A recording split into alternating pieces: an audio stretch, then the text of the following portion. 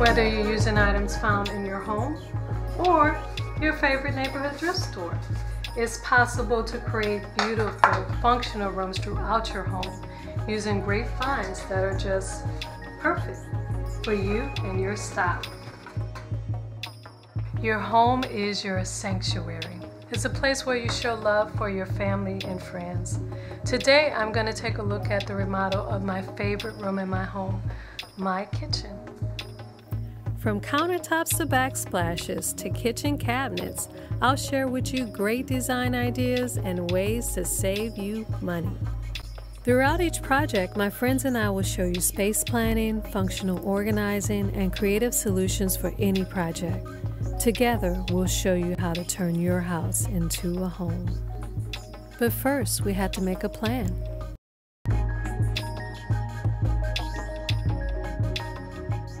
Begin your project with exactly what you want in mind. A project vision board is a great way to organize your thoughts, display your choices, compare styles and textures. To create my vision board, I looked through lots of kitchen and home magazines to find the style that I love. You want to find rooms that really jump out at you. Whatever you get really excited about, that's what you want on your vision board. This will determine your unique style.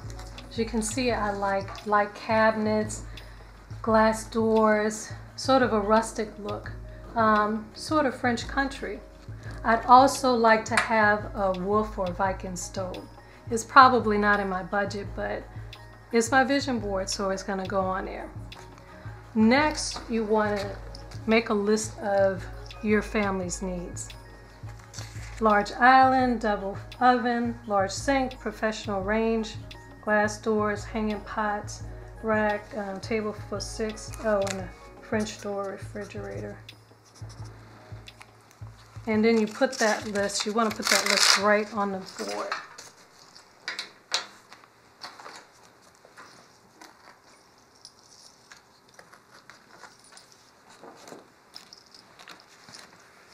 And there you have your vision board. Your vision board should be whatever your grandest idea of what you want, no matter what you think the cost is. Now you do want to have a budget, but at this stage, you don't want anything to interfere with your vision. There's always a way to get the look and feel of what you want and still stay within your budget. But think of the biggest, grandest idea first. Now that you have your completed vision board, you can take your project to the next step. You can hire a designer at this point or talk to a contractor who can help you with your project. Also, there are lots of resources and computer graphic programs that can help you in designing your space. This is what my kitchen looked like before.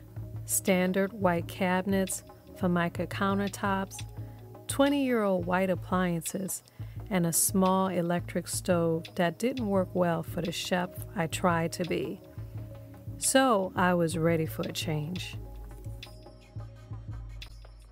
I used a 3D program to build the kitchen I wanted so I could see what the different countertops, floors, wall color, and everything would look like when the project is completed.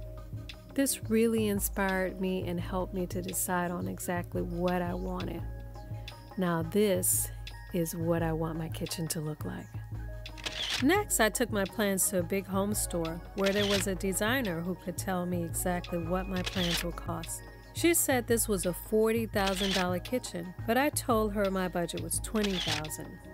After working with her, together we found ways to cut back on the cost, but still keep the same look and quality I wanted. Here are a few of the ways I saved.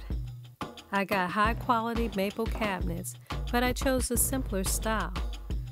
I found a great range. It had all the BTUs and everything I wanted from the Wolf or Viking, but for one third the price. And it looks beautiful. And I got great deals on all my appliances for getting most of them all at the same store. With cuts here and there, great deals, and smart decisions, I was actually able to get this kitchen for half the price. And it has everything I wanted.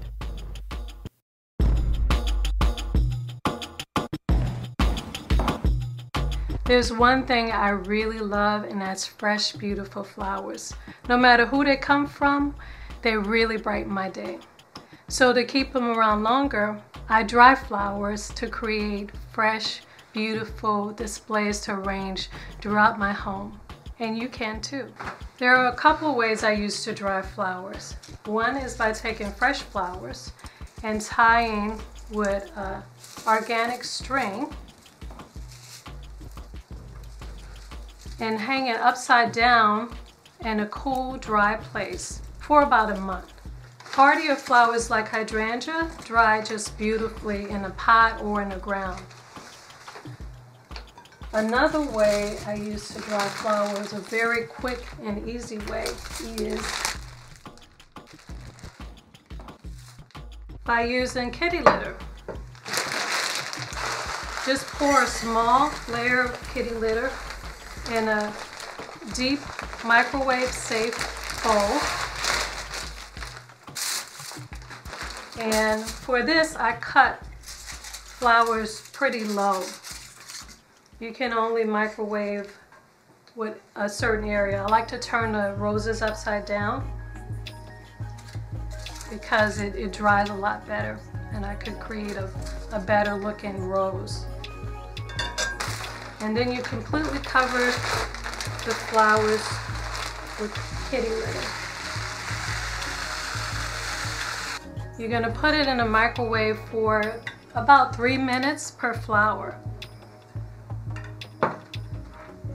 And when it comes out, you have to make sure you have gloves and tongs because the kitty litter will be extremely hot. It could really burn your hands. So when they come out, what I use is wire stem and I put it through the, the head of the rose. Um, what I also like to do, sometimes it closes up a little bit. I, I use tweezers to sort of open it up and arrange it. Here are some of the beautiful flowers that I just microwaved. So let's make our floral arrangements. After your flowers are completely dry, you can make a beautiful arrangement to complement the color scheme of any room.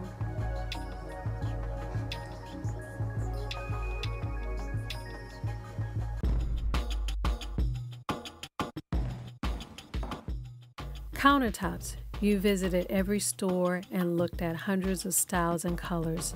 Today's products can not only be beautiful, but made of environmentally friendly or recycled materials, such as glass, stainless steel, and wood. When a choice is made, remember to consider function, your family's lifestyle, and most definitely your personal favorite. I chose granite because it looks beautiful, it's durable, and it adds value to our home. Just remember that materials like granite can be on the higher end of your price range and they require some special care.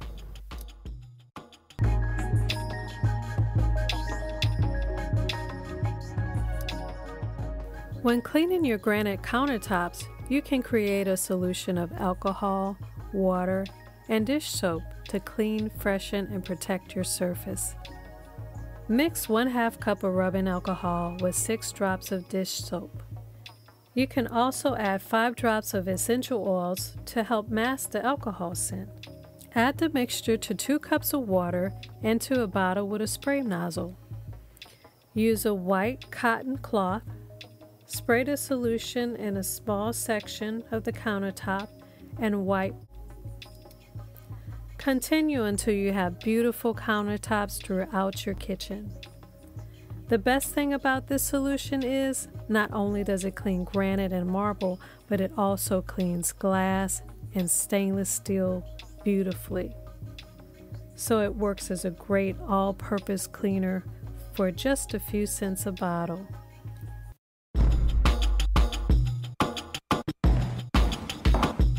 The architectural style of your home, such as Spanish, modern, bungalow, or craftsman, can help you decide what type and color of cabinets to choose for your kitchen. Unless you have a custom built home where you had some choice of your style of cabinets, you most likely have builder's choice cabinets that were chosen for cost, not for function or design. When working with my designer at the home store, I picked out beautiful Thomasville maple cabinets with lots of detail and an amaretto glaze. After seeing that that particular cabinet would cost me around $18,000 and would not work in my budget, this is how I cut back. I chose a Thomasville maple cabinet with a more simple style and kept the amaretto glaze so that it was close to the same look as the more expensive one. I was lucky to get the glaze for free because of a promotion that was going on at the time. Instead of Thomasville hardware, which was $28 each, I chose the home store hardware for $3 each. Instead of the Thomasville built-in banquet seating that I wanted, I used storage ottoman benches I found for $64 each. Instead of the built-in pot rack I wanted, I made my own for $20.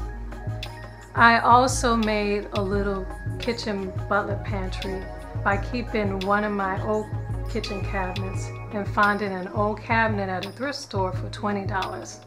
I painted them both using the same uh, colors as my new cabinets and the same hardware. So my kitchen cabinet selections ended up costing me around $7,000. That's over a $10,000 savings.